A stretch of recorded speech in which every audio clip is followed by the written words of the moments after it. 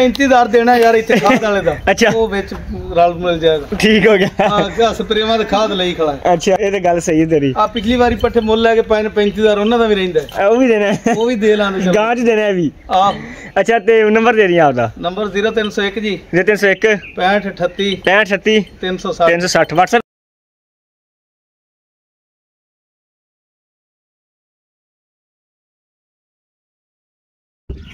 بسم اللہ الرحمن الرحیم۔ السلام علیکم۔ آپ دیکھ رہے ہیں میرا YouTube channel earn from buffalo اور میں آپ کا میزبان ابو کا شاہ۔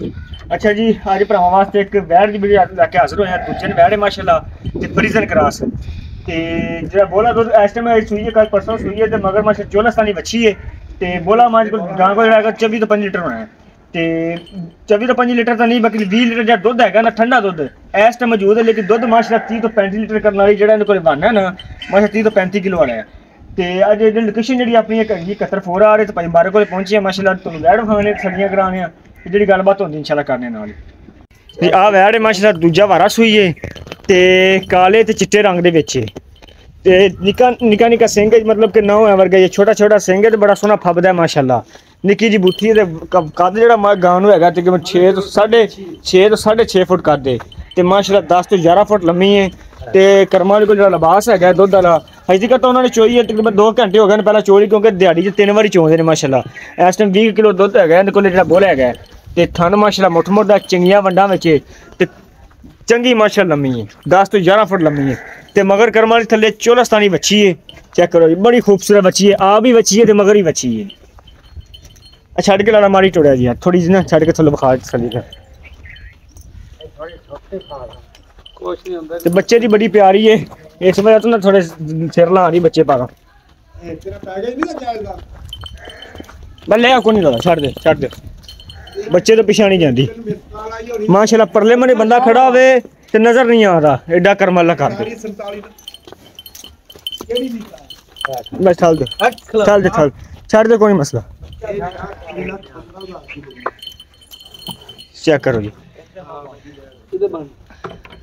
بس باندھے اتھے باندھے اچھا ٹھیک ہے۔ ہاں؟ کھلی جان چھاڑ دو بھائی کھلی رہن دو۔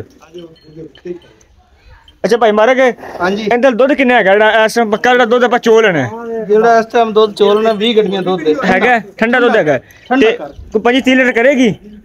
یہ اللہ دے حکم نال اے 35 لیٹر دودھ کرے۔ گی اچھا جی۔ ہاں جی۔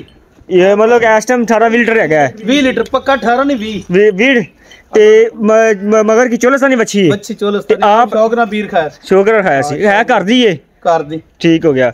ਅੱਛਾ ਤੇ ਕਿੰਨਵਾ ਵਾਰਾ ਸੂਜੀ ਭਲਾ? ਦੂਜਣ। ਦੂਜਾ ਨੇ। ਹਾਂਜੀ। ਤੇ ਇਹਦਾ ਕੀ ਲੇਖਾ ਲੁਖਿਆ ਹੈਗਾ ਜਿਹੜਾ ਪੱਕਾ ਲੇਖਾ ਜਾਇਜ਼ ਮਕੂਲ ਜਿਹੜਾ ਪੱਲਾ ਲੈਣਾ ਹੈ?